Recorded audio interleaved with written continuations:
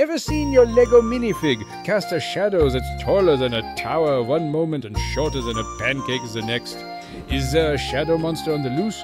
Nope, it's just the sun playing tricks. Scene 1. Professor Brick stands tall at sunrise, but his shadow stretches all the way to Brickville. Scene 2. As the sun climbs high, Brick's shadow shrinks until he's convinced it's run away.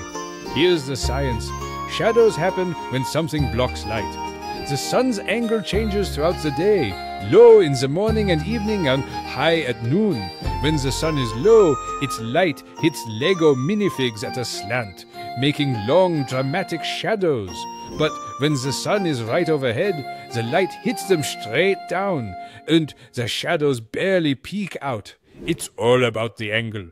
That's why you can make your Lego knight look like a giant at sunset, but he's back to pint size at lunch. So, next time your Lego dragon's shadow is bigger than your house, don't panic. It's just science.